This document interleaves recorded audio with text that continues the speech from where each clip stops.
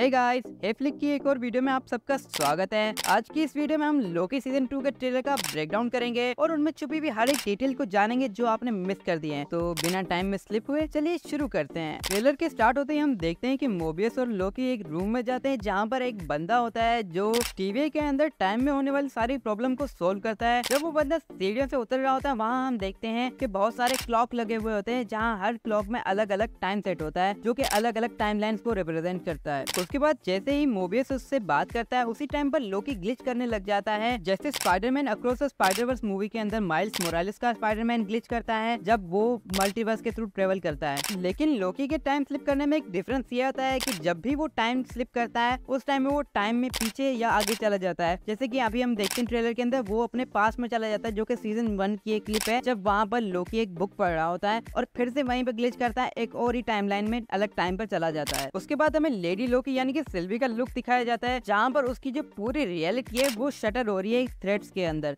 उसके बाद scene shift होता है और हम देखते हैं कि लोकी एंड मोबेस अलग अलग टाइमलाइन में ट्रेवल कर रहे हैं थ्रू द टाइम डोर जो कि टीवी यूज़ करती है। और वो एक ऐसी टाइमलाइन में पहुँच जाते हैं जहाँ पर सिल्वी एक वेट्रेस का काम कर रही है। और उसी के बाद अगले ही शॉट में हम दूसरी टाइमलाइन देखते हैं, जहाँ पर सिल्वी किसी को उठाकर फेंक रही है। इसके बाद हमें कैंग द कॉन्कर यानी कि हेकू रिमेंस वाले वेरिएंट का प्लाजा या मेंशन दिखाया गया है, जो कि पूरी तरह से टूट फूट चुका है। जी, वही प्लाजा है जो फ़र्स्ट सीज़न में हमने देखा था, जहाँ पर एंड में सिल्वी ही रिमेंस के काम डाल देती है। एंड देन हम देखते हैं कि मोबियस वो सूट पहन के एक ब्रिज पे जा रहा है। और इस ब्रिज के एंड में हीहू रिमेंस की बनाई हुई सीक्रेट टाइमलाइन है जो वहाँ से बिखर रही है, टूट रही है, हिस्सों में डिवाइड हो रही है। जिसकी वजह से मल्टीवर्स बन रहा है। उसके बाद सीन शिफ्ट होता है इस बंदे पर, जो थोड़ी देर पहले ट्रेलर के अंदर लोकी से पिट रहा था। अभी वो भागते भागते एक जगह पहुँचा जहाँ पर लोकी के दो वेरिएंट्स आ गए हैं, जो कि शेडो के फॉर्म में है। अब यहाँ पर हमें लोकी को अपनी पावर यूज़ करते हुए दिखाया था।